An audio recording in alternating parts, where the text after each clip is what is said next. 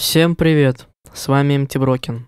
Сегодня я вам покажу, как я настраиваю и обрабатываю свой микрофон, а также расскажу, почему я выбрал именно Fifine K658.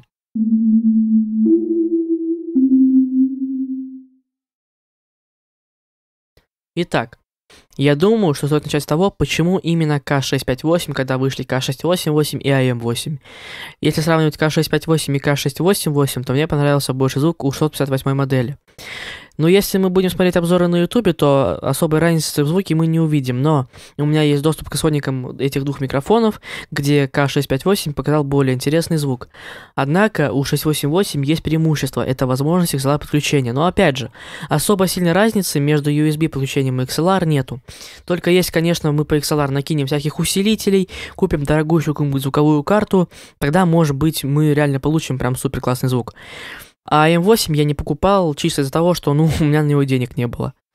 Следующий аргумент в пользу FIFA NK658 – это отличная изоляция голоса. Даже тот же самый Shure SM7B ловит комнату больше. K658 даже, даже неподготовленную комнату с голыми стенами ловить не будет. А что по обработке? Для начала нужно кое-что отметить. Fifine K658 не имеет ровная ЧХ. Он довольно яркий и с этим нужно работать.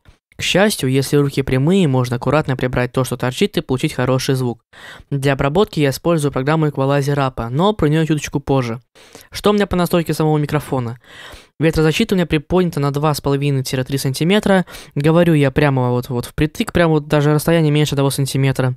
На микрофоне выключено примерно 80% громкости, а в системе также 80%. Теперь про эквалайзер рапа. Про него я особо распинаться не буду.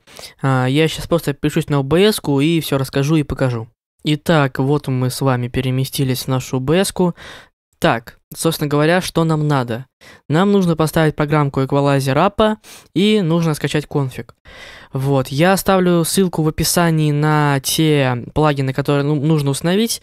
Вот, но если вы там боитесь меня, если вы там мне не доверяете, не верите, то можете скачать все вручную.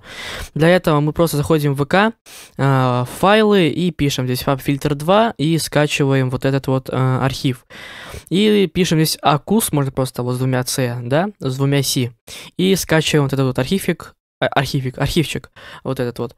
И все перебрасываем, все разархивируем в папку VST э, Plugins, которую мы создаем в папочке Program Files. Вот, и мы просто устанавливаем программу Equalizer App и э, в папочку config закидываем э, наши настройки конфигурации. Мы закидываем сюда, и все. И у нас получается хороший, приятный звук. Вот, даже вот в программе Equalizer App, только не забудьте вот здесь вот выбрать свое устройство. Вот, он у нас, в моем случае, это микрофон FIFA NK658, но, наверное, и вашим тоже. Вот.